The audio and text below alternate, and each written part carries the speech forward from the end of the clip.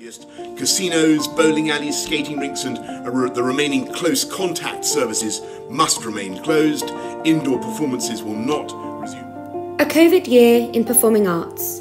When we returned in September, we were all well aware of the rules and regulations of COVID and the effect it would have on the performing arts. The performing arts team have worked tirelessly to ensure that the show must go on even without a live audience. We've had a wonderful year in the arts and we have so much to celebrate. In September, we saw the launch of the digital logo competition that saw many entries, and this logo has gone on to be the digital face of performing arts through a COVID year. We had had the launch of the first ever digital Christmas concert that was streamed to families and friends of Wilmslow High School, along with the elderly in our community, who shared an evening's entertainment whilst being in the security of their own home. It was a pleasure to know that our most vulnerable people in society had something enjoyable to look forward to over the Christmas period, when families and friends could not gather due to COVID restrictions. One of the important occasions in the year when normally we welcome families, friends, former students, and members of our local community into this space, our school hall, a space we are delighted to share with you course, this year, unfortunately, you cannot come and join us here.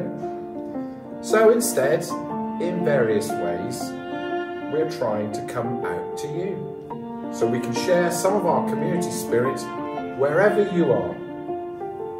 Not only were the community given the chance to enjoy the students' hard work and musicianship, they were treated to special food and gift hampers that were put together by you, the Wilmslow High School community. We are eternally grateful for all of the contributions this year in helping raise spirits amongst those who need it most. In February, we saw the launch of the digital Wilmslow's Got Talent. We were overwhelmed with the sheer amount of entries from dance to singing and acting solo performances. These were judged by our very own teacher panel at the school, and a winner was picked by you, our local community. In May, performing arts students took part in the Edgy Festival on Twitter. This festival was a national digital festival that celebrated students' work. And it was here we were able to celebrate the creative and performing arts and share what the arts has looked like in the curriculum during a COVID year, as well as celebrating past and present students' work. We were hopeful for a summer festival, but sadly, due to further COVID restrictions, we were unable to fulfil this event this year. But we are hopeful that come next summer, we will be in a positive situation and we can celebrate the arts at the 2022 event. We can, however, look forward to Miss Led's summer musical digital concert that you will be able to watch on the Performing Arts channel in the next few weeks. In the meantime, our winner from Wilmslow's Got Talent, Luke Carter, has been busy recording a track at the Edge Recording Studio, and we are pleased that we are able to share this wonderful edit with you in celebrations of all things arts as we come to a close.